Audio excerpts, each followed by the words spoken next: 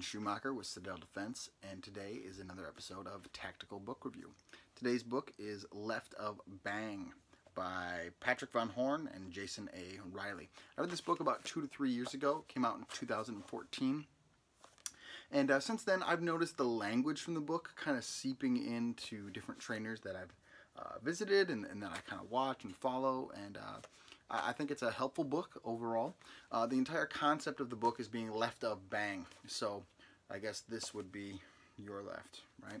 Uh, bang in this maybe this is your left i don't i don't know anyways so the bang is the event right it's the bomb going off it's the car bomb going off it's the guy starting the robbery it's someone pulling out the gun and starting a mass shooting that's the bang the event and the whole idea is if you look at a timeline right you want to be to the left of, of that timeline right because we read left to right in this uh, culture. So the idea is to be before, to understand what comes before the event, so that you're being able to you're able to be proactive and not reactive, versus being right of bang where it's happened and now you have to react and respond, right? So the whole idea is to be able to see things coming, and it's it sounds really cool in concept and. We'd all like to be a little bit ahead of the power curve, right? Uh, however, I found most of the stuff in this book to be I don't want to say common sense, um, but I think things that we would all kind of read that and be like, oh yeah, like it more affirming than like new knowledge. I don't feel like there's a lot in this book that I read that I'm like, wow, that just like changes the game. But it, it did give a lot of uh, technical language to uh, ways to understand how things happen before they happen.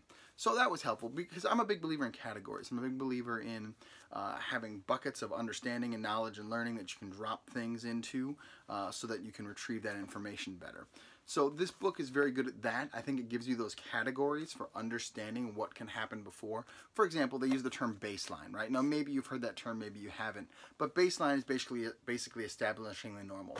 So if every day when you go into Starbucks, uh, there's 10 people in there and they're all in line, it's Bob, Bill, and Susie, and Jane, and they're always there at 8.02 p.m. or 8.02 a.m. or whatever to get their coffee, and you walk in one day and all of a sudden everybody's spread out and they're not in line like they usually are and they're not looking at their phones like they usually are and instead they're looking at this guy over in the corner, well your baseline is off, right? Like you know, okay, there's an anomaly here, something something's weird, something's going off.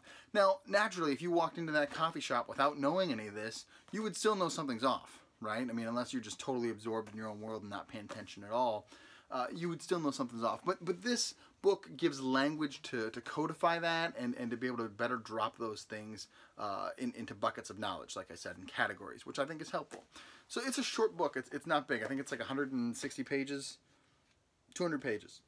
Not big. Not a big book. So uh, it's a quick read. It's an easy read. I, I, think it's worth having in your library to read through and just kind of let it wash over you. I don't think it's anything that you necessarily need to study intensely. Uh, I think it'd be particularly helpful for police officers um, or people who are, might be involved in use of force incidents more often, uh, particularly when being able to describe those events later, uh, be it in court or in a report or whatever. This book will help give you the language to, to be able to explain why you, what you what it was you saw and why you reacted the way you did. Uh, and so for that, I, I, definitely think it would be helpful. For your average everyday civilian, you might find it interesting, you might not. I don't know. I, I don't feel like I can just tell you you absolutely need to read this book. Uh, there are books like that, but I don't know if this is one. So that's Left of Bang. I think it's worth the read if that at all piques any of your interest or if, if, that intrigues any of you all. If none of that piques your interest, you want to skip it, I don't think you're going to lose too much. Dylan Schumacher, Citadel Defense, do brave deeds and endure.